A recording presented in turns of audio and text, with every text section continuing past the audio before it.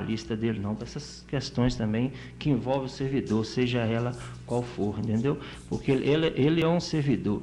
Então, acho que o advogado do sindicato tem que dar total apoio para aquele servidor que é sócio do sindicato. É, ô Ronaldo, é, a gente colocou aqui inicialmente três minutos para a apresentação das propostas, né? É, eu até gostaria de, de, colocar o seguinte, que o, o vice-presidente também, né, o candidato a vice-presidente, o Auro Roberto, está. Auro, você gostaria de falar, de cumprimentar o, o, o servidor público, né? Boa tarde, ouvintes da Rádio Liberdade, Heitor, o Giovanni, Delfino, o Ronaldo, os servidores públicos em geral e a população de Tabira. Eu quero falar, falar um pouco de mim. Meu nome é Auro Roberto Gonzaga, sou servidor público há 19 anos, sempre estive envolvido com as questões trabalhistas do servidor público. É, trabalho na Itaúb, me sinto preparado para estar tá assumindo a administração do sindicato junto com o Ronaldo Teteco e os nossos demais, demais diretores. Sou formado em Direito, tenho pós-graduação em Direito Trabalhista e estou à disposição do servidor público para trabalhar e lutar em prol das nossas propostas.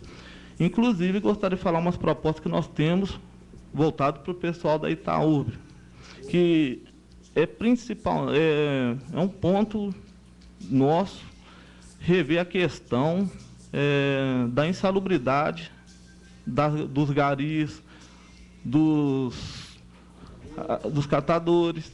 E outra coisa, também a questão da hora intrajornada dos vigilantes, que inclusive já é uma questão que o sindicato já trata atualmente e nós queremos levar isso à frente.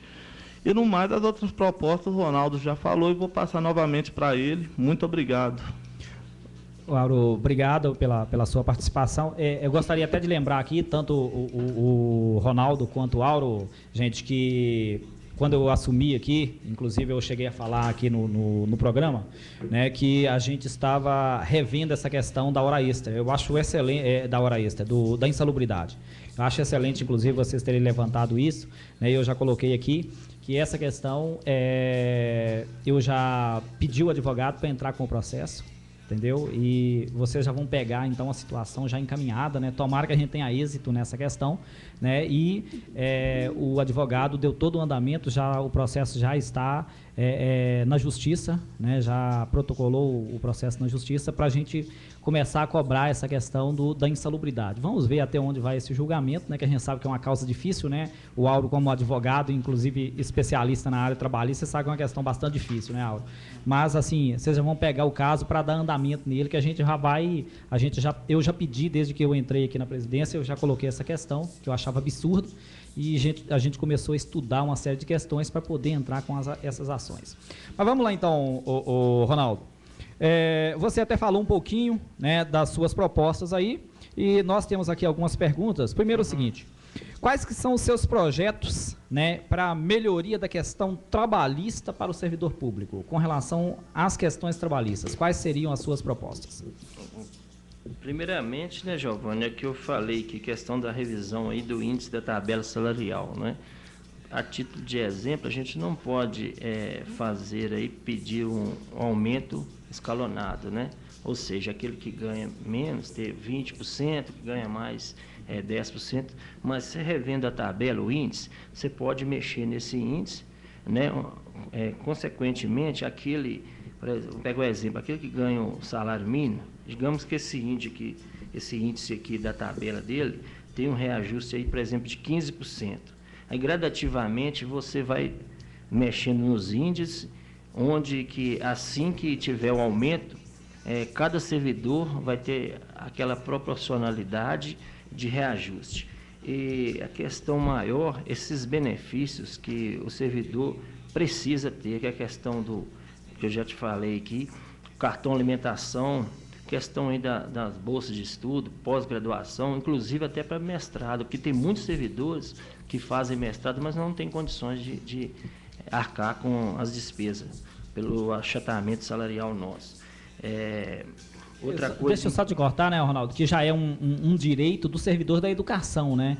Ele tem que ser ampliado para os demais setores, né? Com certeza. Eu acho que cada qual na sua área. Digamos assim, a gente que trabalha na área administrativa, você quer fazer uma gestão pública, uma pós-graduação, é ter o, aquele é, incentivo assim também, o sindicato cobrar e o prefeito também é, abraçar, porque o, o servidor bem valorizado, a, o prefeito ganha, a cidade ganha, né? Então, em cima disso, é, a gente sabe que reajuste salarial, as perdas salariais, igual o sindicato já vem lutando há bastante tempo, principalmente nesses 12 anos aí que o pessoal vem lutando, acho que a gente tem que sentar, discutir com o próximo prefeito, inclusive que são propostas deles, os quatro que foram pré-candidatos, né, assinaram um termo de compromisso junto ao sindicato naquele é, naquela entrevista, naquele debate que teve lá, que foi muito bem preparado pelo sindicato, vocês estão de parabéns, iniciativa que é, a população agradou e muito. Então, em cima daquilo ali também, a gente poder cobrar do prefeito é, esses benefícios, principalmente a questão salarial, porque vejamos bem, hoje, a título de exemplo, nós vamos pegar Conceição do Mato Dentro, que é uma cidade pequenininha, um fiscal hoje, inicial, o teto salarial de um fiscal hoje de vigilância sanitária é 1.650, enquanto Itabira está 1.150. Você entendeu? Então, questão do assistente administrativo. Tive a oportunidade de estar conversando com o prefeito Fernando Rola ontem, lá em São Domingo do Prata, é aproximadamente 900 reais assistente administrativo.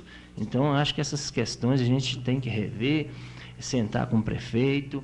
nós não, não, estaremos aqui, se formos eleitos, para estar brigando, não. A questão nossa é do diálogo, para estar buscando esses benefícios que o servidor precisa e tirar exemplo de outras cidades, né?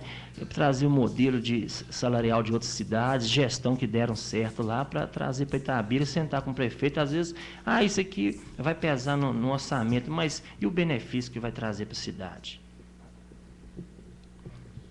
Muito bem, Ronaldo. É, o servidor está ligado em você, você, tem, você, sabe disso nesse momento. A maioria, é uma gama enorme de servidores que estão ouvindo as suas propostas. E além, você já colocou muito bem as suas propostas para o servidor público, você sabe que o Sintcep é uma instituição da qual toda instituição precisa de colaboradores. Igual nós temos lá uma equipe odontológica, nós temos o pessoal que trabalha no apoio administrativo lá e tal tal. Você tem algo a falar a respeito da sua administração para o Sintcep?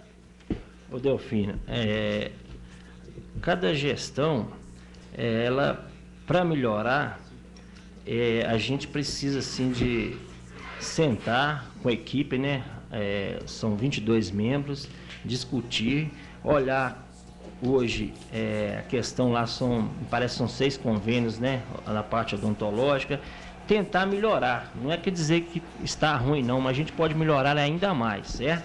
Então, é, a título lá, nós temos ali no site, tem um consultório odontológico, de repente voltar exclusivamente é, é um dentista para atender lá no, diretamente no SAI ali, que tem esse consultório, né? Então, é, a questão do administrativo que você falou, a ideia nossa é de montar um departamento jurídico e contábil. De repente, o servidor tem dúvida a questão do salarial dele, então tem que ter uma pessoa ali que entenda, principalmente de folha de pagamento com a gente, para discutir, para estar tá dando suporte para o servidor na hora dele discutir com a prefeitura. Será que aqui eu fui lesado no meu contra-cheque? Então, tem que ter esse argumento e esse departamento para dar esse suporte.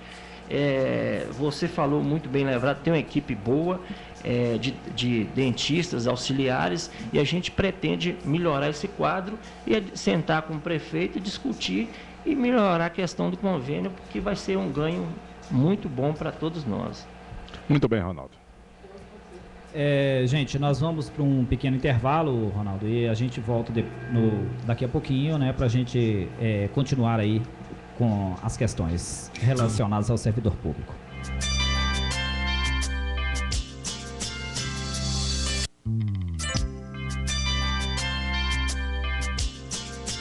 Combate a dengue, esse é o foco. Em caso de dengue, deve-se ingerir muito líquido como água, sucos, chás e soros caseiros. Anti-inflamatórios e medicamentos à base de ácido acetil salicílico não devem ser usados, pois podem aumentar o risco de sangramentos e hemorragias.